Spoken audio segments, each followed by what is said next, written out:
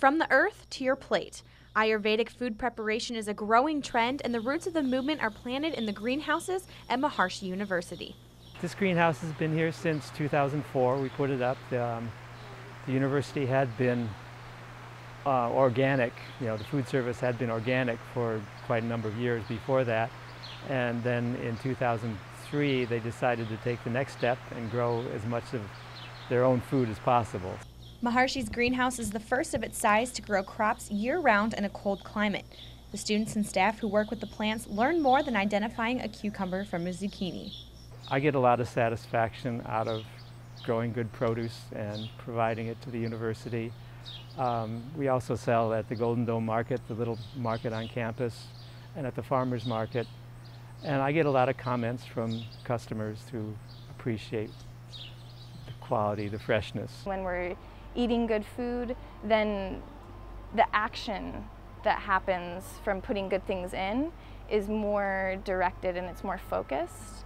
Um, so, you know, it goes along with the principle of do less, accomplish more. This, this greenhouse is a real opportunity for all of us and for, for the county, I think. Uh, I really encourage everyone to grow their own garden and to look up alternative methods of making sure everything is natural, no chemicals and everything like that. So I would say the experience of working with fresh vegetables is probably the best experience.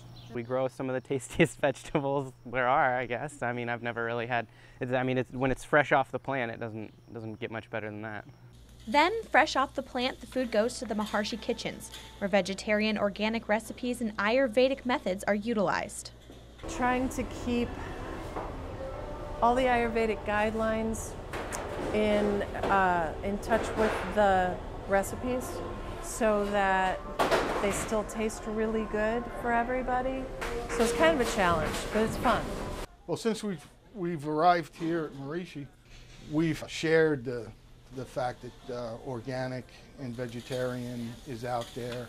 There's a lot of our accounts that uh, do offer organic vegetarian, but not on a wide range that we do here in Fairfield.